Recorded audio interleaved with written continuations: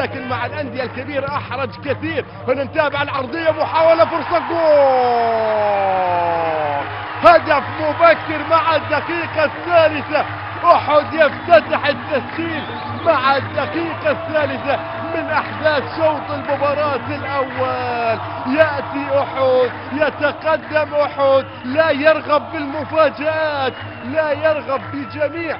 وأي حاجة ممكن أن نضيع منا مباراة المدينة أو المباراة الأولى وهو يأتي الآن بعد ركلة زاوية مرت وعدت ووصلت إلى شباك الطائي شوف الكرة الأولى شوف اللمسة شوف الخطأ شوف الإبعاد وشوف الوصول.